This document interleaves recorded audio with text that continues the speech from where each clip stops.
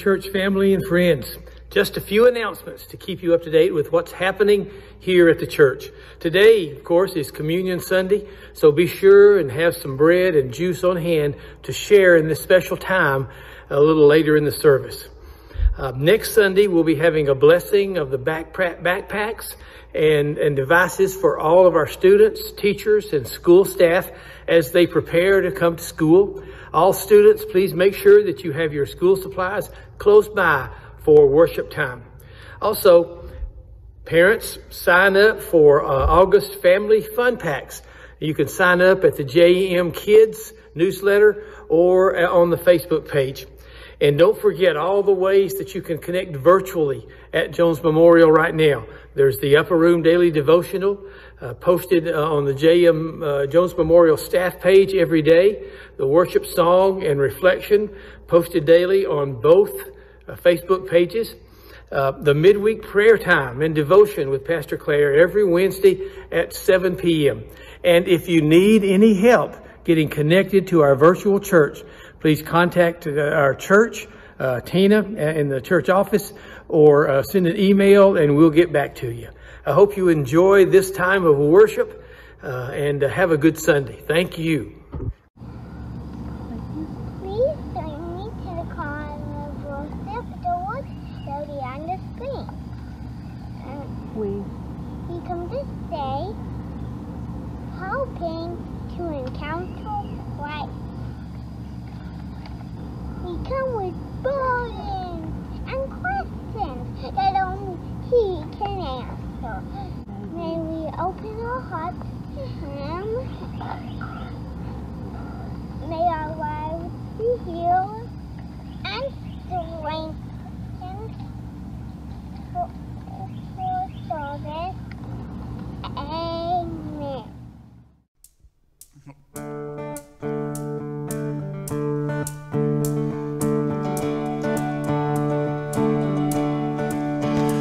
I was buried my shame. Who could carry that kind of weight? It was my tomb till I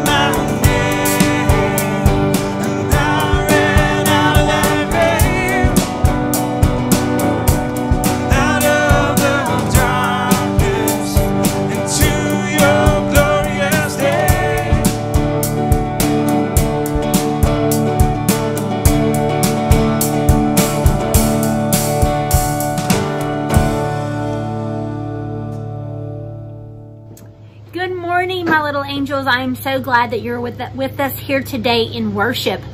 So this week, if you join are joining our um, August Family Fun activities this month, you'll get to do this really cool experiment. And I got to do it the other day. And so I took this really dirty penny and I made it shiny again. It was really cool. I enjoyed it so much. And the thing that helps us remember is that, you know, sometimes just like this penny, life gets messy. Sometimes our souls get messy because of the bad things we do, um, the sin that we have in our lives. But when we trust God, when we give him the things that we have done wrong and we say, Lord, we ask for your help in these things, he can wipe them clean and he can make us shiny and new all over again. That's amazing. And so I hope you have fun this week as you get to do this cool science experiment and more. Um, and also, just remember to always turn to God because it is through Him um, that allows all these amazing things to happen in our lives. Now, today is a very special day. Um, this month, we're going to be um, celebrating our children who are promoting from one small group to another. Um, and today, we're going to be celebrating our kindergartners. And so we're very excited um, for them. And so we're going to be honoring them now. We would like to celebrate Chase. We would like to celebrate Emily. We would like to celebrate Emily Claire. We would like to celebrate Owen. And we would like to celebrate Sophie. We're so excited for you in this new journey in your lives. Now, if you would please join me um, as we watch this great video that kind of just celebrates what Vacation Bible School was for like for us this year. Um, it was different, but it was amazing, and God did some amazing things uh, through that. And we want to thank you for your support um, to make Vacation Bible School happen this year.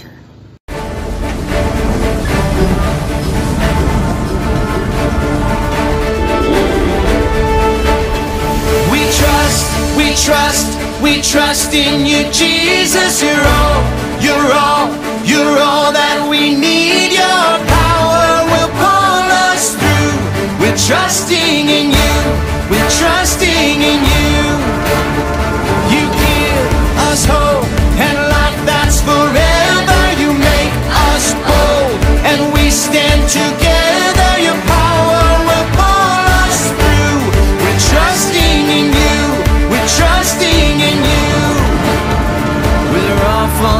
Journey. There's no looking back.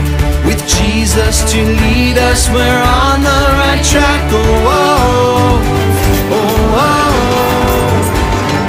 Wide open spaces for wide open eyes. We're looking ahead for the next big surprise. Oh, oh, oh.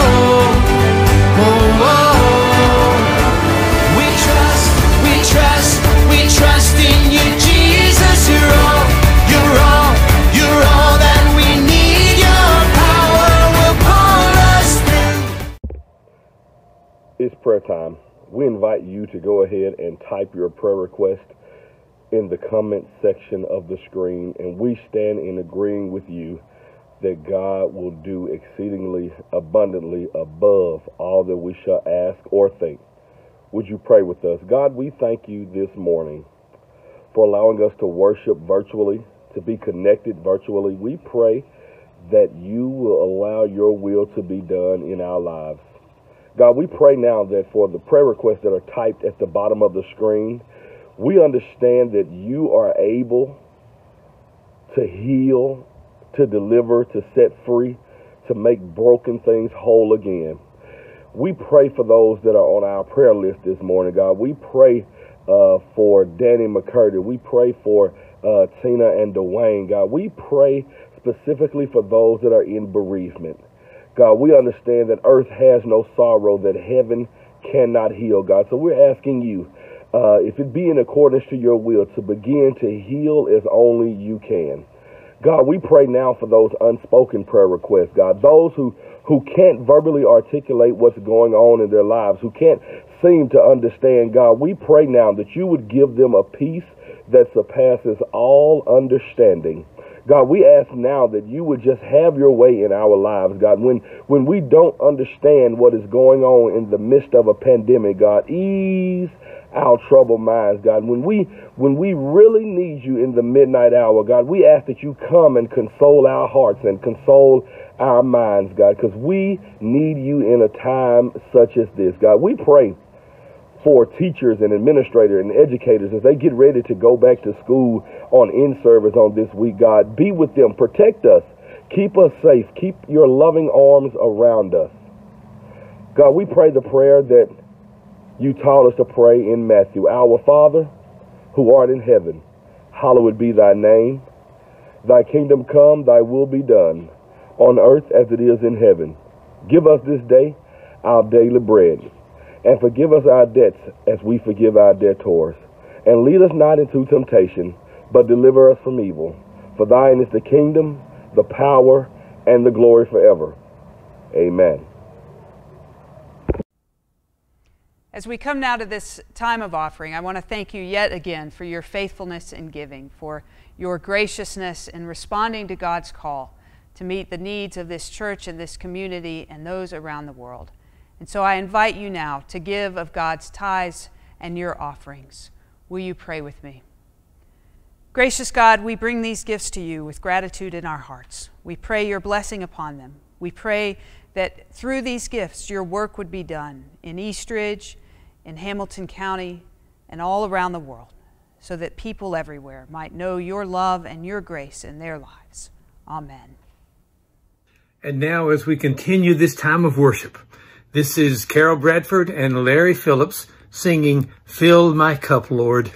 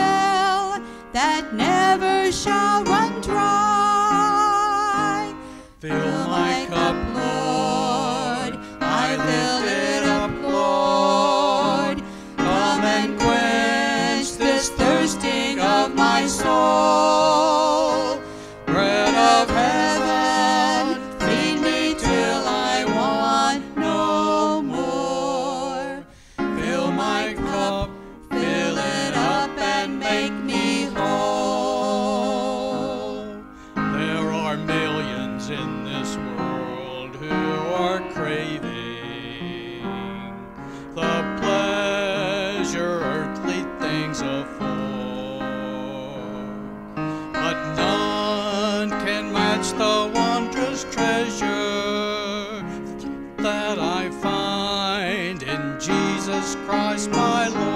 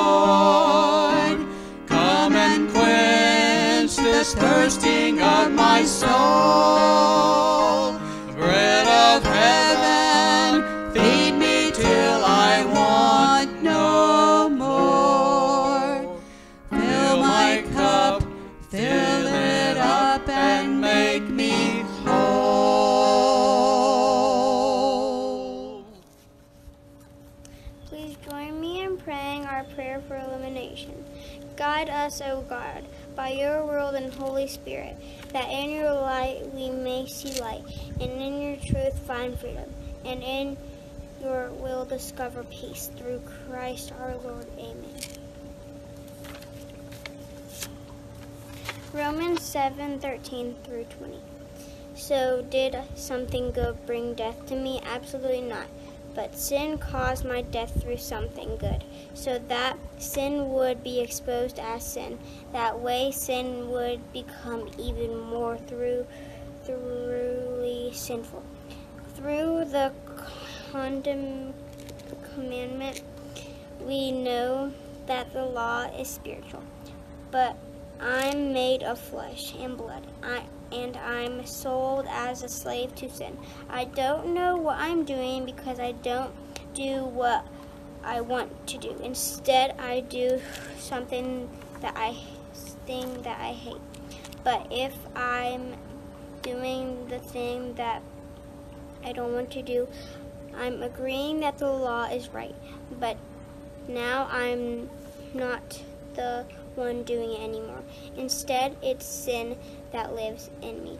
I don't know the good doesn't live in me. That is in my body. The desire to do good is inside of me, but I can't do it. I don't do the good that I want to do, but do but I do the evil that I don't want to do. But if I do the very thing I that that I do don't want to do, then I'm not the one doing it. Instead, it is sin that lives in me that is doing it. This is a word of God for you and me, the people of God. Thanks be to God.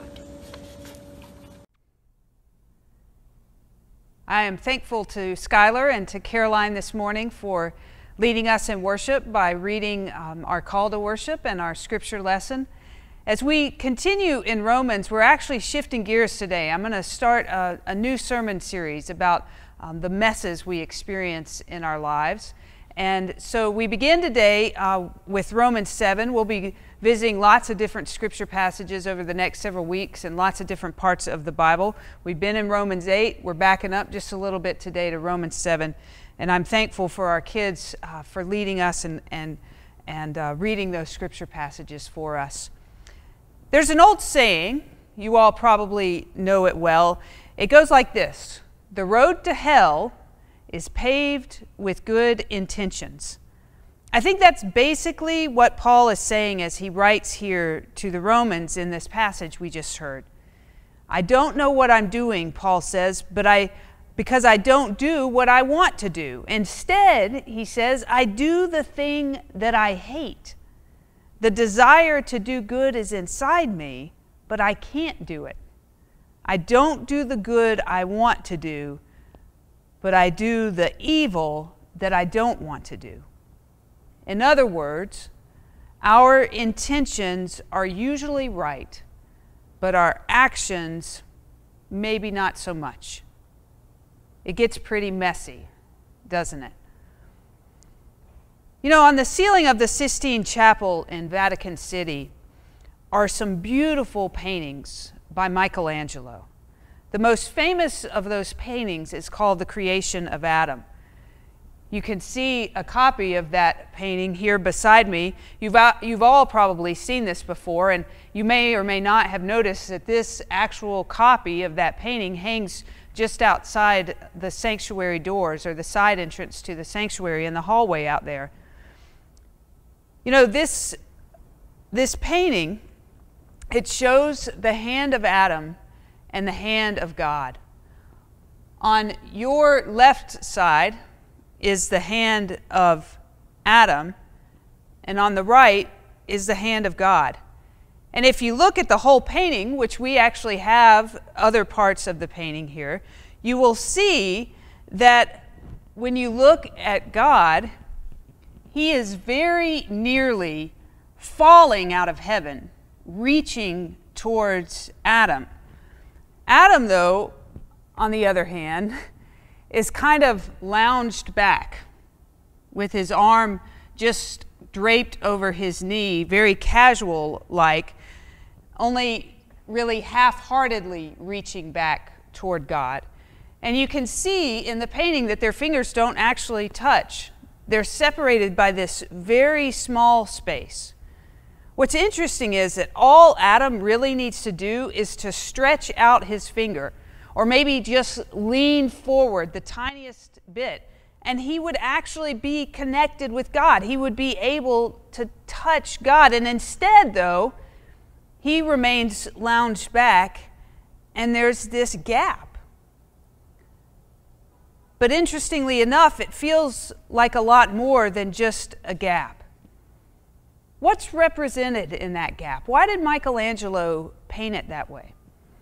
Tom Berlin, who's a United Methodist pastor, he says that gap is representative of the almost life, what we would have, what we could be, if only we would reach toward God as eagerly and as enthusiastically as God reaches toward us.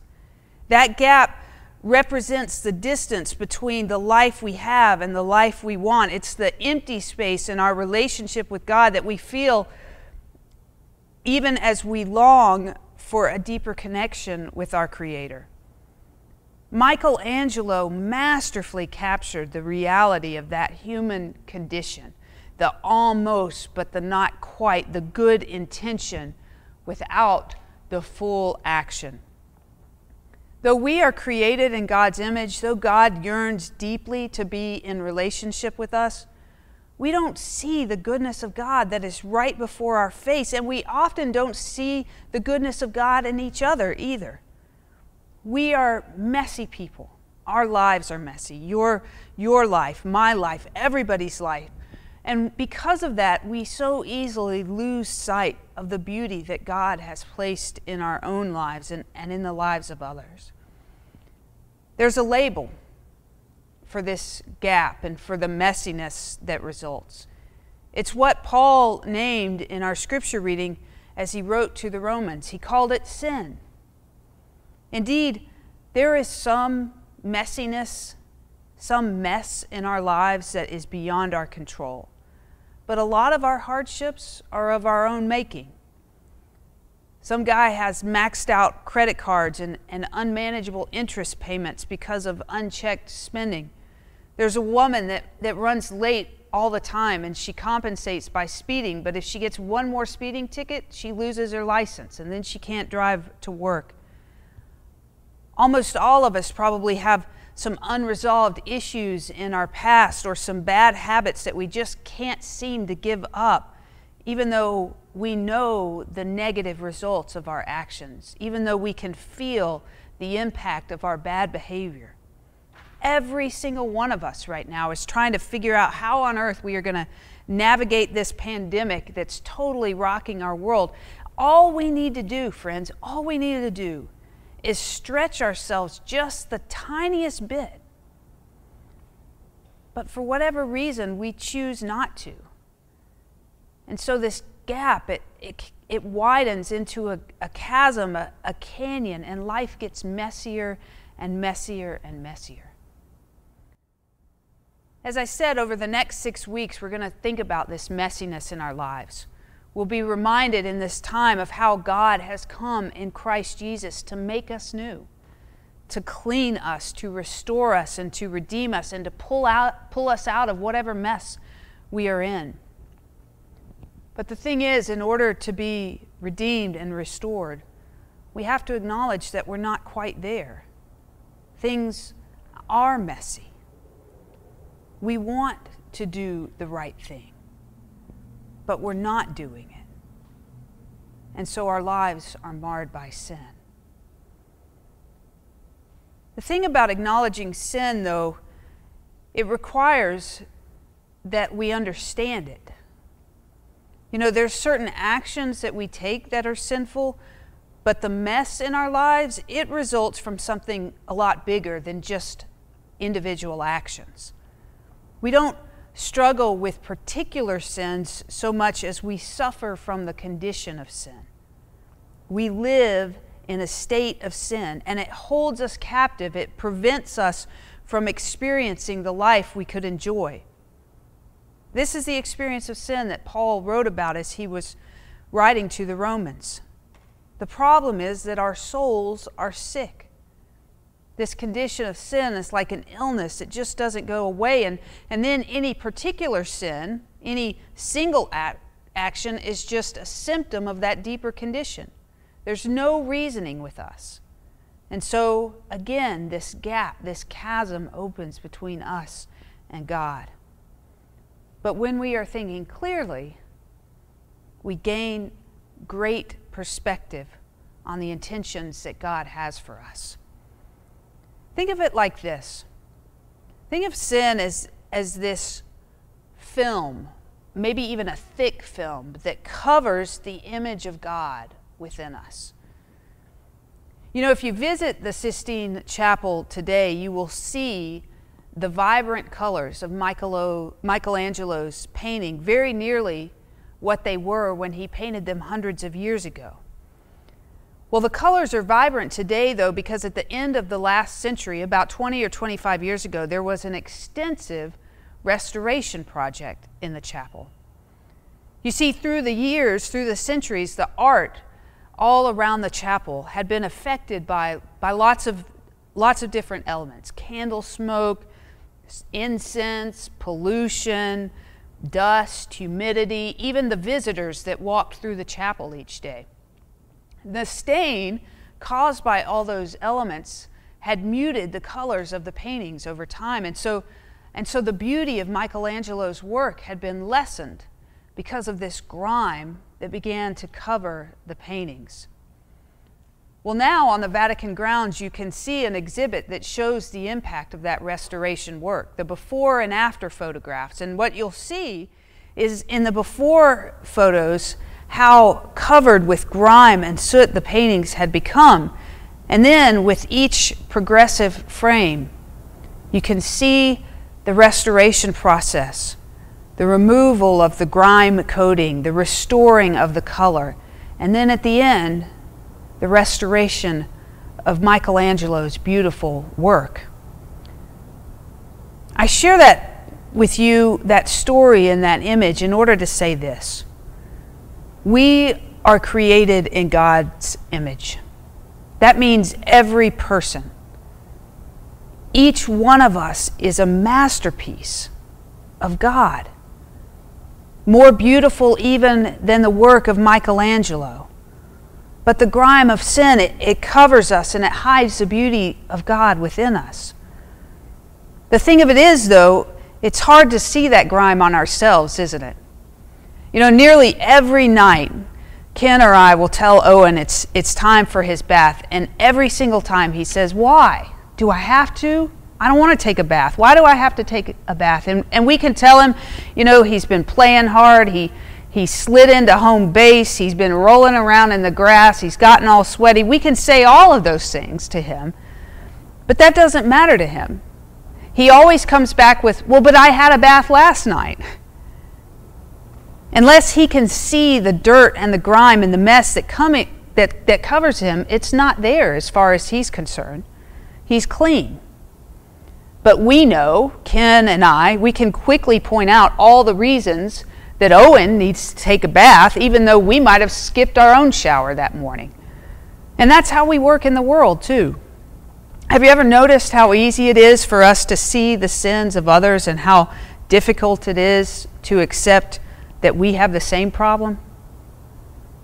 But if we embrace the idea that there's a film of sin covering the masterpiece of God's image within us, it's possible that our lives might be open to a full restoration of all that has been damaged. Through the grace of God and the work of Christ, we can be healed of all that makes us sick. If we will open ourselves to God's presence, if we will humble ourselves before God, if we will mourn the grime that covers the beauty and, and the canyon that separates us from God, then God can order the chaos. God can clean the messiness. God can bridge the gap. Think about that tax collector. You'll remember him. This is the guy who beat his chest in the temple. And he cried out in shame before God for the way that he had swindled and, and cheated his neighbors. He acknowledged his brokenness, and God didn't step away. God was gracious in showering him with love and, and with the power to change. And the same is true in us. Even when we are lounging around, all messed up with the grime of sin, God never stops reaching for us, lunging for us, even. And unless we believe that God can see the beauty hidden beneath our sins and our hang ups, then that mess will remain and, and we'll never be able to accept the Lord's forgiveness and restoration. You know, we can bow before God and we can say, My life is a mess, or we can say, Don't mess with me. Facing the reality of, of sin in our lives, it's one of the most important things we can do. If we embrace the fact that we suffer from illness, we won't need to be anxious at the thought that we have sinned. We won't have to deny that our lives are a mess. Acknowledging that mess to the God of all grace, it opens the door to be healed and redeemed and restored, and to have the beauty of God's image made anew within us. We may be a mess. Actually, we are a mess. We may be stuck, but there is hope. We can recognize our need to bridge the gap between ourselves and God. And we can understand that we are powerless to bridge that gap on our own. Right now, even now, God is on the move. God is reaching out to restore us and to clean up our messy lives. And one of the ways that God does that, the one of the ways that God reaches out to us is through communion. It's in communion that God in Christ Jesus comes to us and says, I am with you, and I will be with you. And it is in communion that God shares with us His grace and His love as we are reminded of the sacrifice that Christ made on the cross.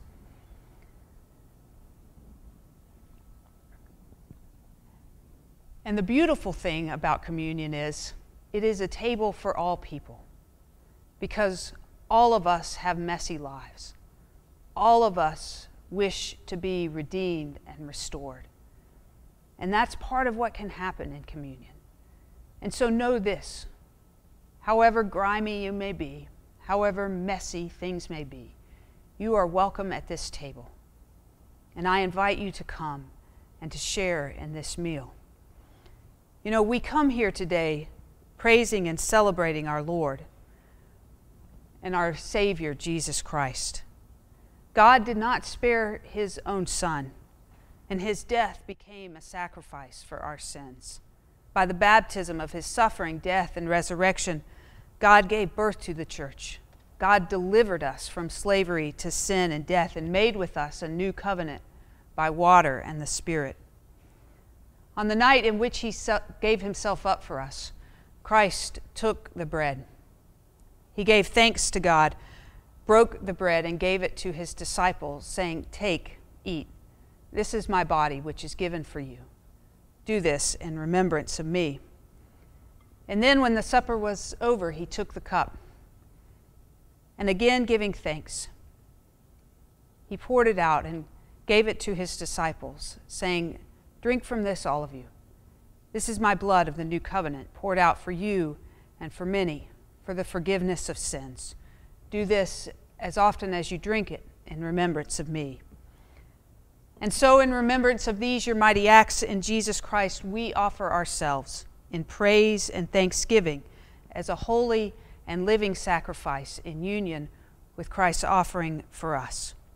Pour out your Holy Spirit on us gathered here and on these gifts of bread and wine. Make them be for us the body and blood of Christ, that we may be for the world the body of Christ, redeemed by his blood.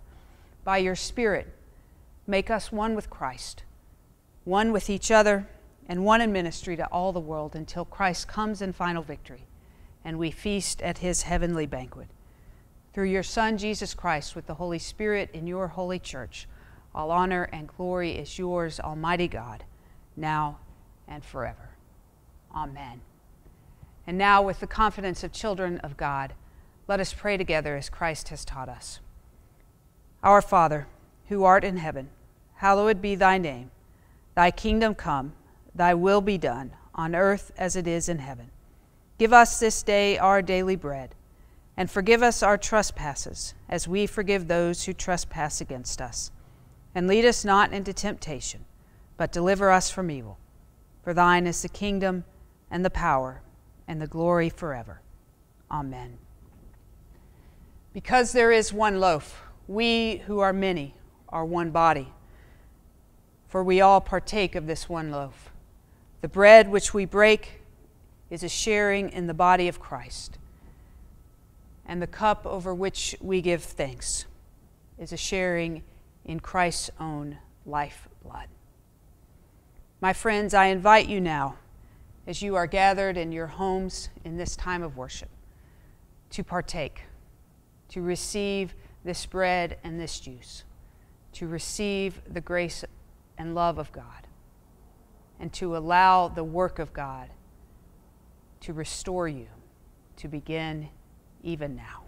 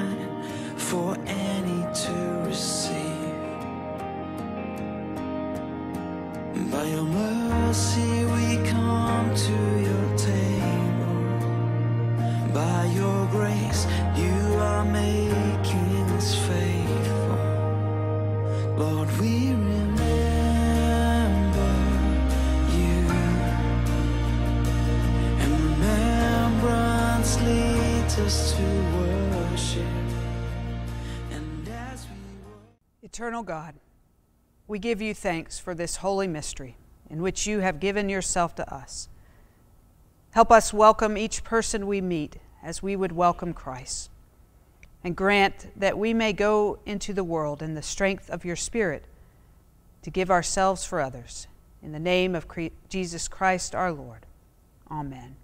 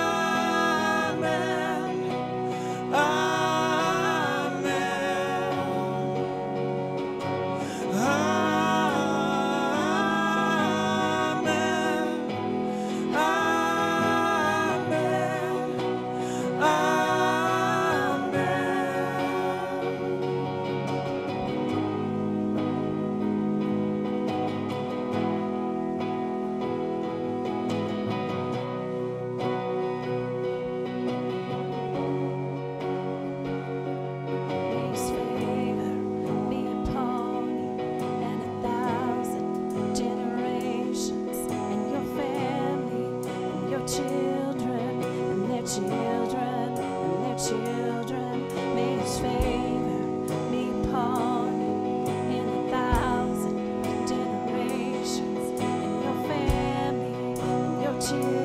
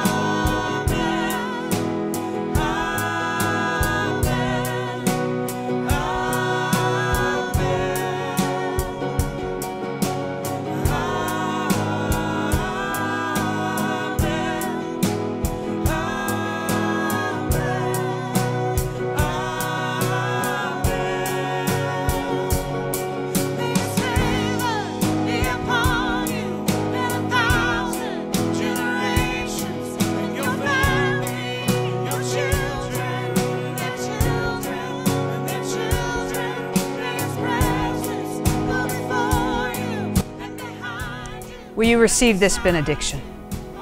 Know in the depth of your being that God is reaching out to you, ready to redeem and restore you, ready to clean up the mess of your life, even now.